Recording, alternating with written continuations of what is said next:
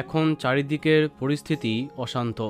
একে পর এক খারাপ খবরে মন যেন বিপর্যস্ত, বিধ্বস্ত। এবার টলিপাড়াতে দুঃখের বাতাবরণ।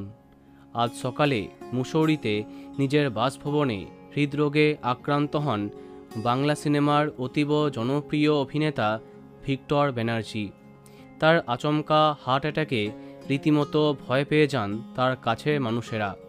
এরপর দেরাদুনের একটি বেসরকারি হসপিটালে তড়িঘড়ি ওনাকে ভর্তি করা হয়েছে। এখন কেমন আছেন অভিনেতা? সেই রকমভাবে পরিষ্কার করে তেমন কিছু জানা যায়নি। তবে শোনা যাচ্ছে, আগের থেকে একটু সুস্থ হয়েছেন তিনি। প্রথমে ওনাকে আইসিইউতে ভর্তি করা হয়েছিল এবং বর্তমানে শিফট করা হয়েছে। চিকিৎসায় সাড়া দিচ্ছেন এই বাঙালি কিংবদন্তি তারকা। আগের বছরই পরপর অসুস্থ হয়ে পড়েছিলেন ভিক্টর বাবু। কোভিড এবং ডেঙ্গুতে আক্রান্ত হয়েছিলেন। বর্তমানে তার হার্ট অ্যাটাক হবার খবরে রীতিমতো দুশ্চিন্তার কালো মেঘ জমেছে বাংলা বিনোদনের দুনিয়াতে। আমরা আশা করব আপনি দ্রুত সুস্থ হয়ে যান। বন্ধুরা, ভিডিওটি এইটুকুই।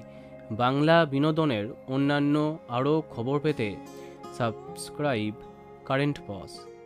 ধন্যবাদ।